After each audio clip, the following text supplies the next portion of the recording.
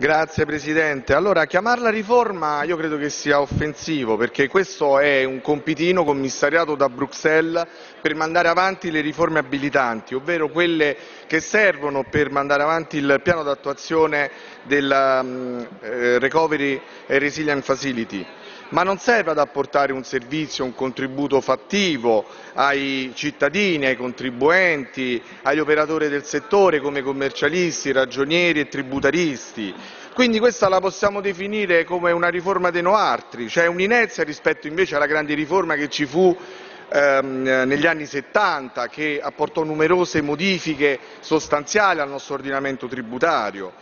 Purtroppo è stata una grande occasione persa perché noi abbiamo ehm, abbiamo presentato delle, delle, proposte emendative qualificanti che sono state puntualmente bocciate dal governo e da questa raffazzonata maggioranza, come ad esempio allineare la, la pressione fiscale alla media europea, che avrebbe agevolato le famiglie, le, i cittadini, le imprese, avremmo fornito 1.500 euro di più l'anno, che in un momento di crisi come questa sicuramente avrebbe dato un valido sostegno e aiuto. E in realtà rimarrà che questo provvedimento porterà eh, l'aumento sulla tassazione delle case nel 2026.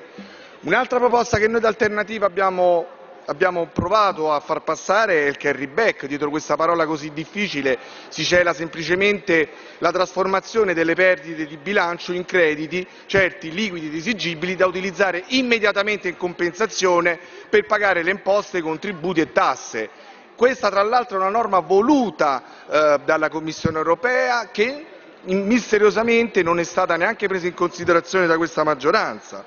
Un'altra proposta importante che noi abbiamo, abbiamo portato in Commissione e anche in Aula è l'autorità fiscale di garanzia che avrebbe messo fine allo strapotere dell'Agenzia delle Entrate e avrebbe restituito dignità allo Statuto del contribuente che è stato violato centinaia di volte io vorrei ricordare a tutti che è stata rimessa un'altra norma, per la seconda volta, eh, la norma che vieta alla pubblica amministrazione di chiedere i documenti ai contribuenti. Noi l'abbiamo fatto nel 2019 con il decreto, eh, ehm, col decreto crescita e l'Agenzia delle Entrate l'ha smontata nuovamente e quindi è stato, sempre in alternativa l'abbiamo dovuto riportare in auge. Perché? Perché ad esempio c'è eh, la dichiarazione sugli aiuti di Stato che sta mettendo in seria difficoltà gli, eh, studi eh, dei commercialisti e dei tributaristi.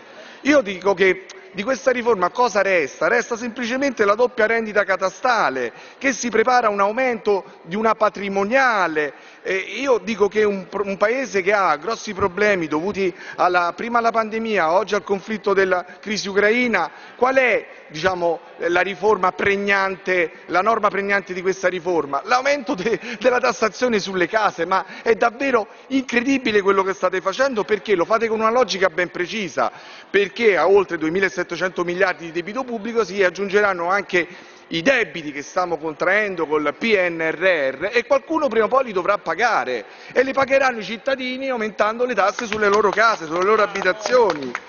E allora io di fronte a tutto questo vi dico che noi voteremo contrariamente a questa pessima riforma perché eh, resta una grandissima delusione rispetto alle, aspettative che, si, che doveva, dovevano essere concretizzate. E una grande delusione da parte degli artigiani, dei commercianti, della, dei cittadini comuni, delle famiglie che si aspettavano molto ma molto di più. E invece l'unica cosa che resterà, come abbiamo già ripetuto, sarà la tassa sulle case a partire dal 2026.